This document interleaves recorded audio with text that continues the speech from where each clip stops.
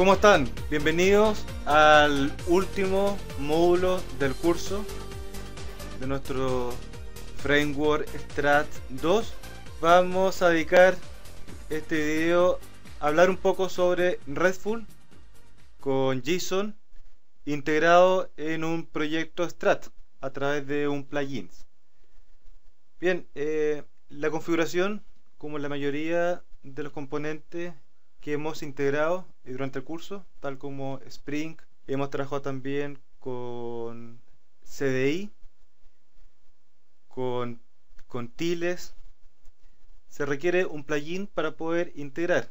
Por lo tanto, además se tiene que configurar en la dependencia de Maven la nueva librería, en este caso el, el plugins para poder trabajar con RESTful. Luego tenemos que configurar nuestro strats.xml y de esta forma podemos implementar controladores REST, de 100% REST, incluso podríamos tener un proyecto solamente con controladores REST que interactúan con clases de servicio, con clases que se conectan a la base de datos y realizan consultas, operaciones, ya sea con Ethernet o con JPA y estos controladores pueden prestar un servicio a otras aplicaciones. Aplicaciones clientes que incluso pueden estar distribuidas en otro servidor. En otro servidor que piden o, o consumen este web service con una estructura y estándar RESTful mediante JSON. Pero también podemos tener una aplicación que tenga una mezcla, controladores REST y también controladores eh, normales, que no sean necesariamente REST. Controladores, por ejemplo, que manejen una página web HTML, un controlador común y corriente. Y también tenemos un ejemplo para que lo estudien con Angular JS Angular JS, eh, un framework JavaScript orientado al cliente, el front-end, que, que trabaja la parte web. Y por lo tanto, todo lo que es la parte web, el MVC se trabaja con Angular JS, con JavaScript, y todo lo que es servicio, eh, lógica de negocio, eh, a través de, de RESTful, con controladores de Strat. Hay un ejemplo completo en este curso. Bien, veamos el ejemplo. Entonces vamos a crear el working set para el módulo 8. Acá, acá vamos a importar los proyectos que tenemos que de hecho son tres eh, no son tantos entonces hay un ejemplo básico. Bueno, acá marcamos para el módulo 8. Hay un ejemplo básico, también hay un ejemplo que mezcla tanto controlador REST como controladores que no sean RESTful. Y también un ejemplo con Angular JS. Acá tenemos los ejemplos. Entonces primero tenemos el REST básico. Primero vamos a revisar el POM XML para ver las dependencias. Bueno, eh, como siempre es importante y necesario el plugin de convención de Strat y acá tenemos el REST plugins que también es importante para poder trabajar con, con RESTful. Bien, luego en el en los recursos en strats.xml acá tenemos algunos algunas constantes. Por ejemplo la más importante es el mapper class que es a través de REST. Con esto indicamos que todas nuestras clases controladoras se van a mapear a través del, del componente REST por lo tanto tiene que seguir cierta convención y acá es importante el, el API o el componente de convención porque tiene que, seguir ciertas reglas de la clase controladora, de cómo se tienen que llamar, en los métodos, en fin. Que por ejemplo, la primera es que la clase action controladora tiene que tener un sufijo controller. Por ejemplo, acá tenemos persona controller. Entonces, acá tiene el sufijo. Toda clase, toda clase controladora REST tiene que terminar en controller. Eso es lo primero. Lo segundo acá no se hereda de Action Support, sino se implementa la interfaz Model Driven. Model Driven.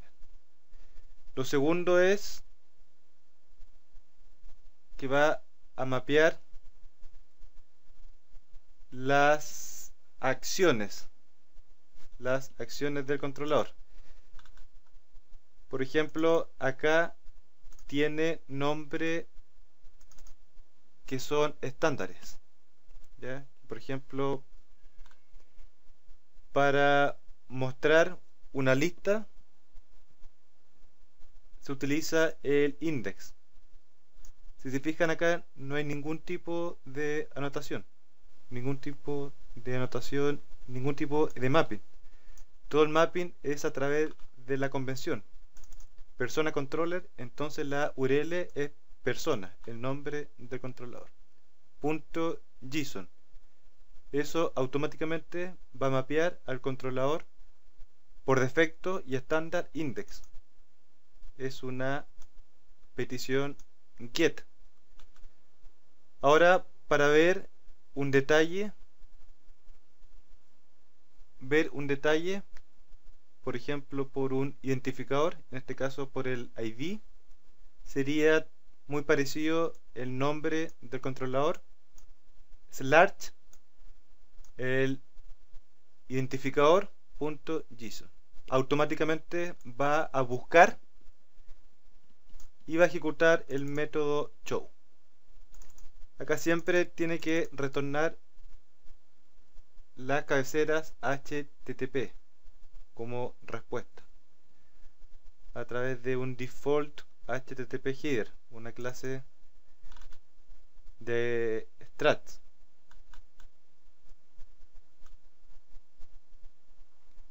bien el modelo se maneja a través de la interfaz entonces implementamos la interfaz y automáticamente nos indica que tenemos que implementar el método getModel. Entonces siempre el modelo va a ser el dato o la estructura REST, independiente si es una lista o es un, un solo registro. Si es un listado de varios, varios elementos o es solamente un elemento o registro.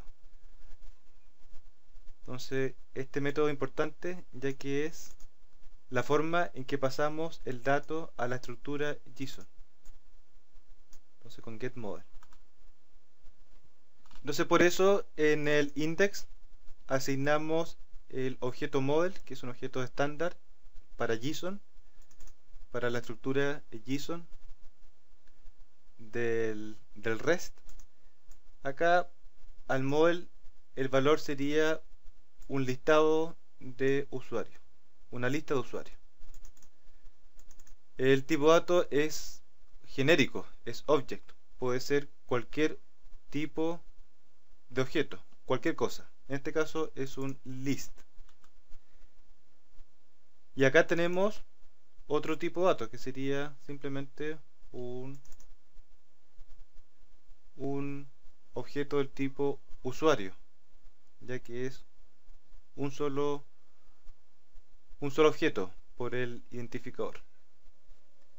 Pero también es object y así el object representa los datos de la estructura REST. Por ejemplo para update acá personas slash pasamos el ID en este caso identificador JSON pero cuando la petición es put, es del tipo put request, va a ejecutar el método update. Cuando get, el método show. Si bien la URL es bien parecida, lo que cambia acá es el tipo de petición. Acá es un, get y acá es un put. Básicamente usamos put para...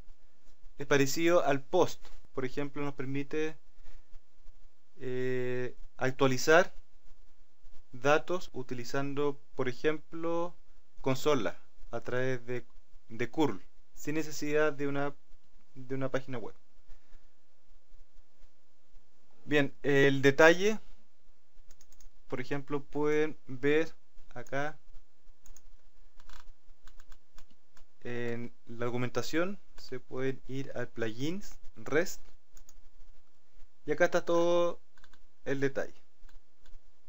Entonces están todos los, que por ejemplo, los métodos estándar, por ejemplo, get, que para listar invoca el método index, show, para mostrar, ¿no es cierto?, a través de un identificador, un ID.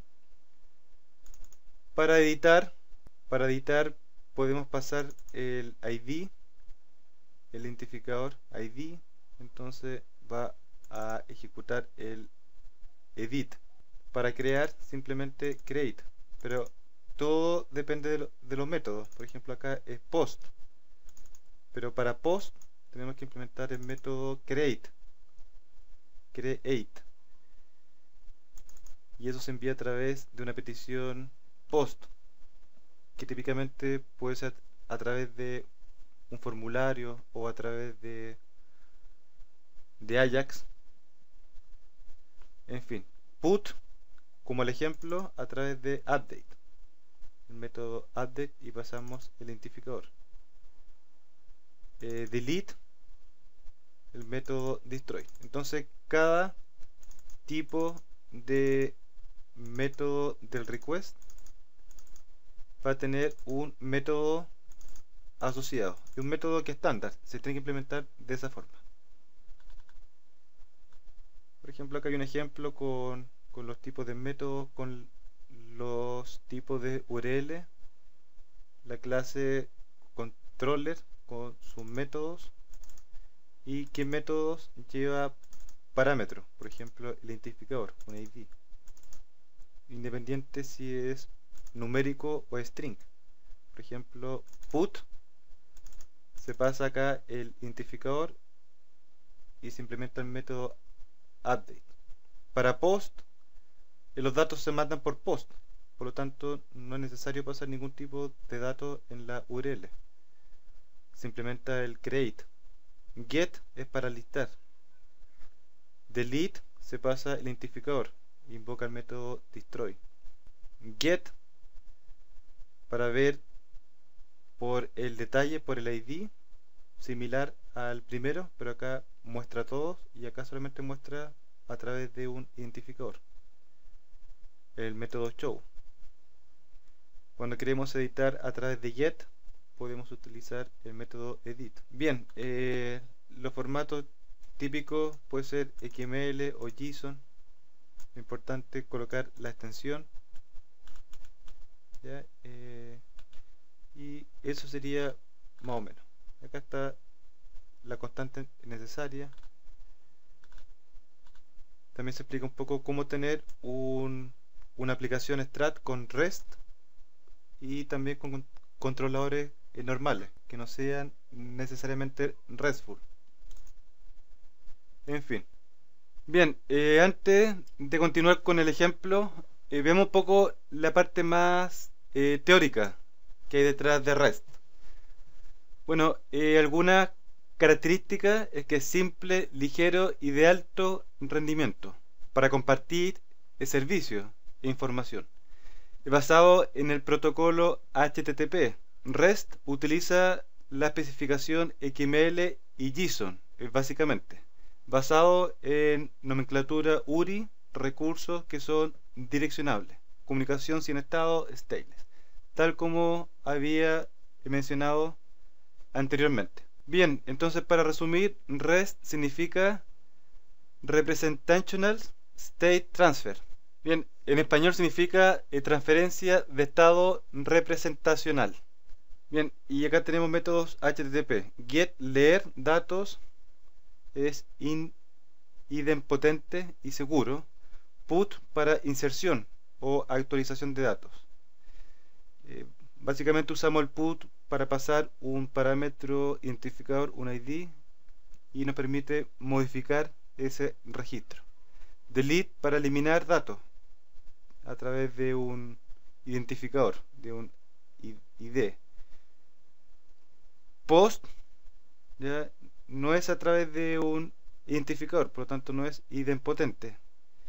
Más bien se pasa en los parámetros en la petición, en el post, un poco menos seguro, más orientado a la web para inserción y actualización. Bien, eh, volviendo al ejemplo, acá en el strat.xml, por ejemplo también es importante a través del plugin de convención configurar cuál es el default parent package y sería REST default que en el fondo para trabajar con REST. Por tanto todo, todos los controladores REST que siguen este patrón de convención por sobre la configuración en la convención el nombre controlador después viene un sufijo el nombre del controlador es parte de la URL y también habíamos mencionado que los nombres de métodos son estándar según el tipo de petición HTTP eh, algunos reciben un parámetro en la URI que sería el ID el identificador. Por ejemplo para mostrar el detalle para actualizar un registro vía put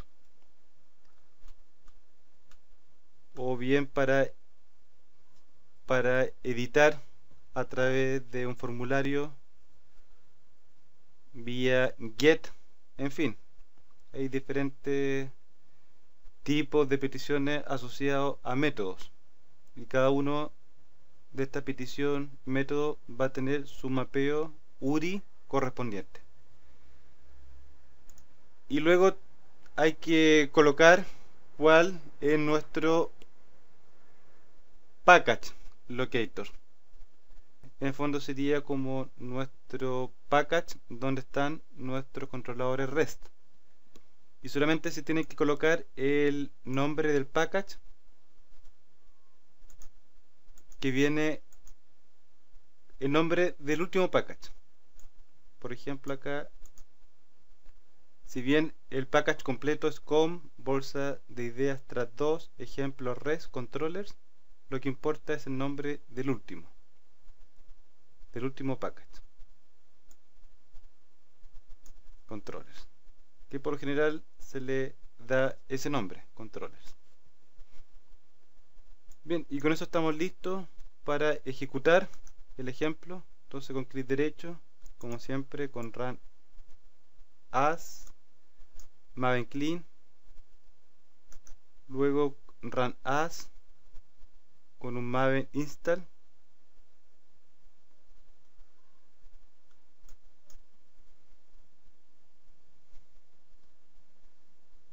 Y al final un maven add deploy y ejecutamos. Podemos ejecutar en Tomcat, ya que no es un proyecto con EJB, así que con Tomcat estaría perfecto.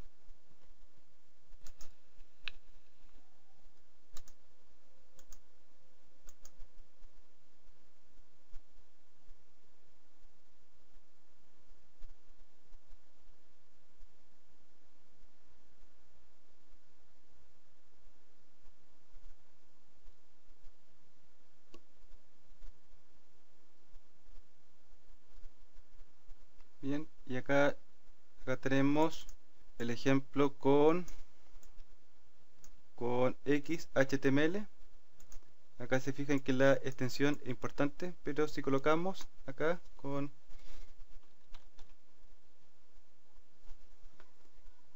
.json va a ejecutar y mostrar el resultado REST en el formato eh, JSON. Entonces es importante la extensión. Si colocamos XML, ahí está con XML. Entonces, de forma automática, según la extensión.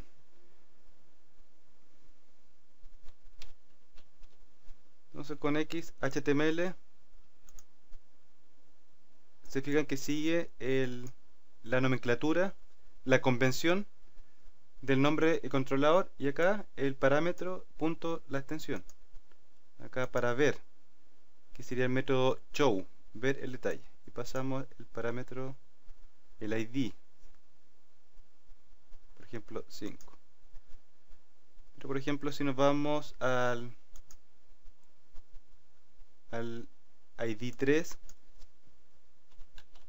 con JSON acá entrega un solo registro un solo registro con la estructura JSON